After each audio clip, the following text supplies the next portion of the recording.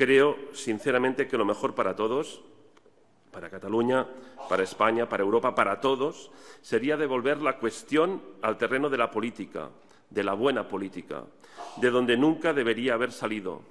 Lo único que pido es que seamos todas y todos conscientes de que en este banquillo no estamos sentados solo 12 personas.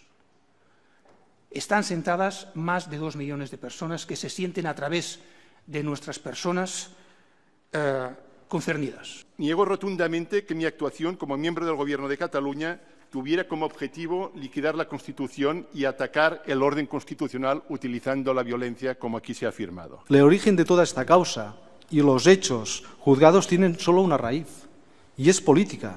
Y en esta sala algunos pretenden dilucidar un problema político con soluciones penales. Depende de cuál sea su sentencia en relación a los límites de derechos y libertades, ante una Europa asediada por la extrema derecha, esto puede tener unas consecuencias absolutamente negativas y nocivas. Afirmo que estoy siendo juzgada por mi trayectoria política, por ser quien soy, no por mis actos, no por mis hechos. Estoy convencido 100% mm, que en Cataluña la mayoría conseguirá abrir una puerta una puerta democrática con una urna, porque la urna nunca puede ser la amenaza a la democracia. No hay ningún tipo de arrepentimiento, que todo lo que hice lo volvería a hacer porque estoy convencido que es lo que tenía que hacer. Yo los acepto, los actos y las consecuencias. Su sentencia, señorías, no solo determinará